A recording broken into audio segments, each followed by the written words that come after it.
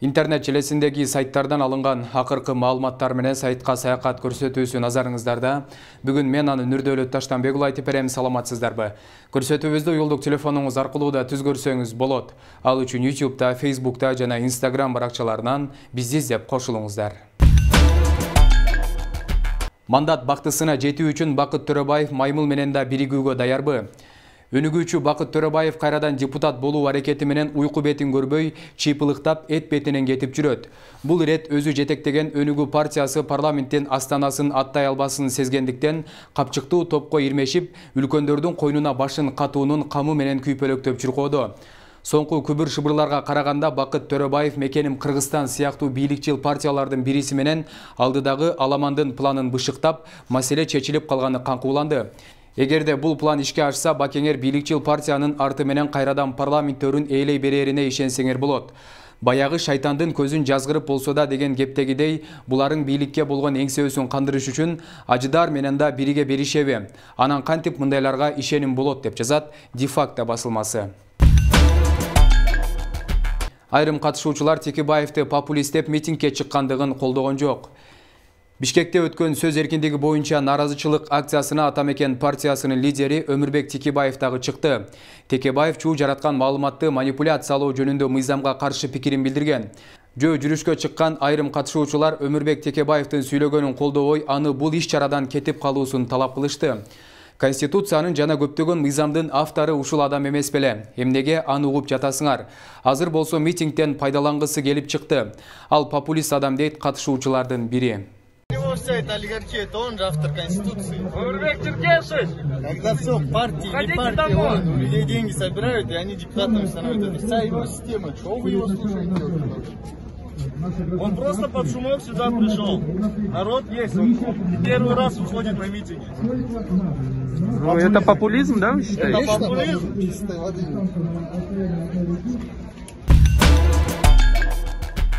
Дастан шаршеев депутат гүлшат асылбаеваны ажыдаар деп атады белгилүү спортчу кикбоксчу дастан али шаршеев жогорку кеңештин депутаты гүлшат асылбаеваны ажыдаар деп ал эми аны колдогон депутаттарды саткындар деп атады. Бул тууралуу ал социалдык тармактагы жеке баракчасы аркылуу видео кайрылуу жасаган. Биз даңктап келген сөз эркиндигин булар жок кылып бизди сатканы жатат. Жанагы оозу сасык айым айым эмес. Ажыдаар ошонун сөзүн колдогон депутаттар силер саткынсыңар. Силердин атаңар дагы кыргызга душман болгон. Мен ачык айткандан коркпойм анткени кыргыз эли мага керек кыргызстан кыргыз элиме керек дейт спортчу деп жазат барс медиа порталы. Ошо биз атак даңктаган элибизди жерибизди флагыбызды булар сөз эркиндигин жок кылып бизди саткан жатат бул сөз эркиндиги деген сөз уже биздин мамлекетибизди эгемендүүлүгүбүздү жок кылалы деген маани ошону билип ал кыргыз элим жанагы оозу сасык айым айым эмес ажыдар катын ошонун сөзүн колдогон депутаттар силер силер саткынчысыңар силер силердин атаңар да ошондой кыргызга душман болгон. Алдамчы кнопкалар мыйзам кабыл алабы. Көпчүлүккө анча байкалбаган менен биздин жогорку кеңеш тууралуу өтө чулгандуу маалыматтар тарады. Көрсө мыйзамдарды кабыл алып жатканда бир эле депутат керек болсо 15 кесиптешинин ордуна макул деп кнопканы басып коет экен. Аны да жаап жашырып олтурушпайт. Бүгүн мен мынчасынын ордуна добуш берип койдум деп мактанышат экен. Андан да кызыгы мындай картинаны спикер дастан жумабеков орун басары аида касымалиева күлүп коюп карап олтура беришет мыйзам чыгаруу бийлиги ушундай акыбалга жетсе кыргызстан кайда баратат? Өлкө үчүн өтө маанилүү мыйзам каралып калды дейли. Маселен ысык көлдү россияга он жылга арендага берип салалы деген мыйзам каралып жатат дейли. Ошондо жыйында олтурган кырк депутат ар бири үчтөн кнопканы кошо басып коюп маселени чечип кете беришеби.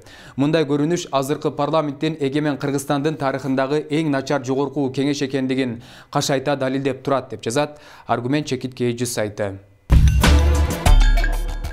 голливудда коронавирус тууралуу тасма тартууга киришти Безумно богатые азиаты тасмасынын продюсери коронавирус тууралуу тасма тартууга киришти. Сюжетте коронавирустун жаңы очогу тактап айтканда Кытайда оорунун жайылышынын алгачкы эки жумасын баяндаган тасманы тартышат. Сценарист Чарльз Рендольф билдиргендей бул коронавирус пандемиясы боюнча медициналык драма болот. Ал эми сюжет Ухандагы дарыгерлердин айланасында оорунун очогу чыккан учурдан башталат. Өлкө бийлигинин уруксаты менен тартуу учурларын 2021 жылдын башында Кытайдан баштоону пландашууда деп жазат элдик медиа порталы. Азыркы учурда да көрсөтүүбүздү уюлдук телефонуңуз аркылуу түзгөрсөңүз болот. Ал үчүн YouTube'да, Facebook'та жана Instagram баракчаларынан бизди издеп кошулуңуздар. Сабырбек Жумабеков Аселдин ден соолугу дагы деле оор. Травматология жана ортопедия илим изилдөө борборунун жетекчиси Сабырбек Жумабеков Facebook баракчасы аркылуу кайрылуу жасап, ырчы Асел Кадырбекованын абалы тууралуу маалымат берди. Журналисттер аябай көп чалып ишибизге жолтоо болуп жатат. Мен сиздерди түшүнүп турам, себеби эл дагы бул маалыматты күтүп жатат. Аселдин ден соолугу дагы деле оор, кома абалында жатат. Бирок өзү дем алып кан басымы өзүнүкү эч кандай дарынын жардамы менен эмес. Бүгүнкү күндө кичине болсо дагы жылыш бар, бирок абалы баары бир оор бойдон калууда деди Жумабеков деп жазат Кадам медиа порталы. Аселдин ден соолугу дагы эле оор бойдон кала берет. Дагы ушул кома абалында жатат. Бирок өзү дем алып өзүнүн кан басымдары дагы өзүнүкү эч кандай дары дармектин жардамы менен эмес.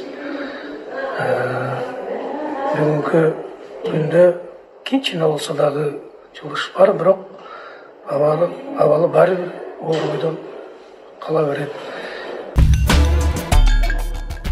Коронавирус менен ооруп жатканын айтып видео кайрылуу кылган милиционер көз жумду бир нече күн мурун милиция кызматкери коронавирус менен ооруп жатканын ал абдан опурталдуу илдет экенин айтып кыргызстандыктарга кайрылган видео тараган.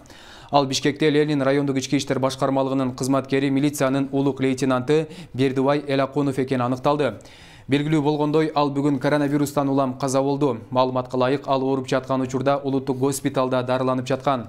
Ага коронавирус жугуп калган өтүшүп кеткендиктен каза болду деп билдиришти кесиптештери Премьер-министр Кубатбек Боронов акыркы убакта коронавируска чалдыккан адамдар көп болуп жатканын белгилеп, жарандарды дүрбөлөңгө түшпөөгө чакырды. Өкмөт башчы бул тууралуу 28 июнда коронавируска каршы ыкчам штабтын жыйынында айтты. Жакында эле көпчүлүк жарандарыбыз вирус жок деген жалган маалыматка ишенип, адамдар көп жыйналган жерлерге барып жүрүштү. Бул бүгүнкү абалга алып келди. Бирок азыр дагы адистердин сөзүн угуп, муктаждык болбосо үйдөн чыкпай турууга кеч эмес. Бул айрыкча жашы улгайган тобокелдик жогору аймактагы жарандарга тийиштүү. Эң башкысы дүрбөлөң түшпөө керек. Дүрбөлөңгө түшүү коркуу сезимин жаратып, натыйжада башаламандык калып келет. Ошондуктан жарандарыбызды сабырдуулукка жана чыдамдуулукка чакырам, деди Кубатбек Боронов. Белгилүү режиссердун жакындары Ассоль Молдокматованын кечирим сурашын талап кылышууда. Ассоль Молдокматова сиз жалганды чындап жазганга жана жалган маалыматты таратканга акыңыз жок болчу. Бул тууралуу белгилүү кыргыз режиссеру Бакыт Карагуловдун кызы Нуризат Карагулова социалдык тармактагы жеке баракчасына жазып чыкты. Биз Бакыт Карагуловдун жакындары белгилүү режиссердун өлүмүнөн өзүн пиарлап калууну шылдыңдоо деп эсептейбиз. Асоль Молдокматова сиз жалганды чындап жазганга жана жалган маалыматты таратканга акыңыз жок болчу. Бул ансыз да оор жоготууга учураган үй бүлөнү сыйлабастык. Жазганыңызды, төгүндөшүңүздү жана кечирим сурашыңызды күтөбүз, болбосо соттошобуз деп жазган ал. Белгилей кетсек, белгилүү кыргыз режиссеру Бакыт Карагулов 70 жашында көз жумган. Буга чейин Ассоль Молдокматова аны коронавирустан улам каза болгонун жазып чыккан. Эми 7 каналдын кабарчысы тарабынан даярдалган Баткен илдетти жеңген дарыгерден ачык маек аталышындагы материал Facebook баракчабызга жүктөлүп талкууга алынды. Алдыда аталган материалды көрүп, ага карата жазылган пикирлер менен тааныша аласыздар. Жугузганымда ушу дем алганымдын кыйналышынан сезип баштадым. Азиз Хожаяров илдетти жуктуруп алган дарыгерлердин катарын толуктайт. Ал Баткен областык биргелешкен ооруканасынын жугуштуу оорулар бөлүмүндө эмгектенип келет. Облус аймагында алгачкы жолу COVID-19 оорусу менен ооруп кайрылган бейтапты кароо учурунда илдет ак халатчангада жуккан. Жугузганымда ушу дем алганымдын кыйналышынан сезип баштадым. Заложенность носа мурун жит сезбей калды и мурундан дем алыш кыйын болуп калды. Ошонун эмесинен мен билдимки уже жұқтырдым деп өзім эле сразу назначениені алып уколдоду баштадым ошол больнойлорду эмне ошентип карап атканмын мен дүйнө жүзүнө кулачин жайып жаткан ковид он тогуз оорусу жок бул жалган деп күмөн санап санитардык талаптарды аткарбай башкаларга да терс таасирин тийгизип оорунун жайылышына себепчи болгон учурлар жок эмес биз шаар тургундарына илдет туурасында суромжулоо жүргүздүк айта албайбыз дагы билбейм ол ооруңардын бары жогун биз билбейбиз бизге кызыктырбайт анан телевизордон чыгып атат баары жоктун көрсөтүп атат чында дейм оору болгон чында саясатка киреби коронавирус кирип билбейм бирөөлөр жок дейт бирөөлөр бар дейт ишенип болбойт элге бул оору бар да реальный ол жок эмес бар үчүн мына биз оорудук элдер ооруп атат дагы эле ооруп атат өтө опасный коркунучтуу муну биздин элдер да азыр ушул күндөрдө эле айтып атат биз угуп атабыз жер жерлерде деле бул жок нерсе ол деп бизге келип больницага да ажитополон кылып кетип барататтар азиз хажаяр илдетти жуктуруп албоо үчүн бардык санитардык талаптарды аткарганын айтат ооруну жуктуруп алган соң ак халат жандардын көзөмөлүндө он беш күн дарыланган өз убагында туура дарыланып коронавирус илдетин жеңип чыккан он беш күн жаттым да. он беш күн жатып дарыландым. Анан кийин үйдө дагы он төрт күн обсервацияда болдум дарыланып чыккандан кийин дагы эле ушул мен дарыланганда енді мен как врач катары өзүм своевременно баштадым лечение ошон үчүн жакшы болуп кетти дүйнө жүзүн дүрбөлөңгө салган илдет күн сайын күчөп барууда дарыгерлер санитардык талаптарды аткаруу керектигин айтышат мындай оор кырдаалда ак халатчандарга жапа болуп жай тургундарда жардам көрсөтүүсү зарыл оору көбөйө баштаганда мына симптоматикасы менен өзү оорулуп ооруп кайрылгандар келип атат ишенбей койгонго мүмкүн эмес эртең ооруп бул ситуация осложнение берип кетсе жаман экендигин последствиясы жаман эл үчүн ушуну биз билишибиз керек да бүгүнкү күндө облус аймагында жаңы эки учур катталды ал эми изоляцияга алынган жарандардын саны он төрт үй карантинине алынган төрт жүз токсон эки обсервацияда жүз кырк эки жаран бар облус аймагында ковид он тогуз оорусу менен катталган жарандардын жалпы саны кырк сегизге жеткен алардын отуз төртү айыгып чыккан болсо он төрт бейтап учурда дарыланууда айжамал мырзадолат кызы азатбек курбанбеков манасбек исмаилов жетинчи канал баткен облусу жалган бир да кыргыз ковид менен ооруган жок бир да кыргыз ковид он тогуздан өлгөн жок башынан бери коронавирус жок кыргызстанда. Бул оору бар ойношпогула сактыкта кордук жок врачтардын айтканын кылып кое бергиле. Өз ден соолугуң үчүн өзүң күрөш кеч болуп кала электе. Сөзсүз эле өлүш керекпи сактан дегенден кийин сактан да кеч боло электе өзүң үчүн деле бүгүн сиздерге жеткирүүгө аракет кылган сайттагы кабарларым ушулар болду айтмакчы жетинчи каналдын ютубтагы фейсбуктагы жана инстаграмдагы баракчаларына да катталууну унутпаңыздар эскерте кетсем көрсөтүүбүздөгү кеткен маалыматтар жетинчи каналдын көз карашын билдирбейт кайрадан интернет желесиндеги жаңы маалыматтар менен бөлүшкөнчө аман болуңуздар